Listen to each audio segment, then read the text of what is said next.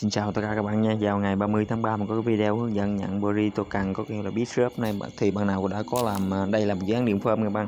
Thì bạn nào có làm dự án này thì các bạn à, cần à, check giếng các bạn.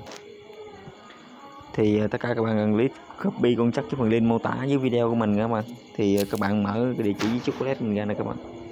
Hiện tại token này nó đã phân phối và đã list sàn ba cái cây swap các bạn. Thì ờ, các bạn chọn mạng bb Smart Chain các bạn đây thì các bạn bắt ờ, cái địa chỉ con chắc của nó vào đây nha các bạn. Rồi các bạn mở ra các bạn. Giờ mình đã, cũng đã nhận được 200 token Bitrup nè bạn. Rồi bạn bấm qua một ờ, uh, date nè. Để mình có giá nó bao nhiêu các bạn.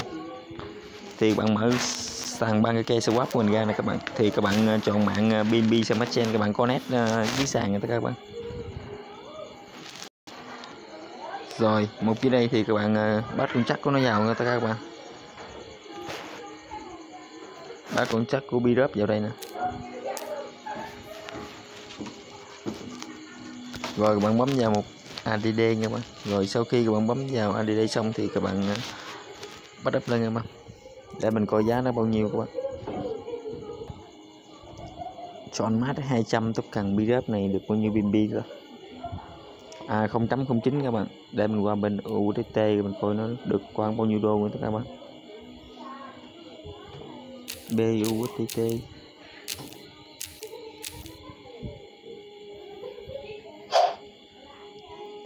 à được có khoảng 48 ngàn năm đô các bạn. Các bạn nào tất cả các bạn việc bấm vào swap các bạn.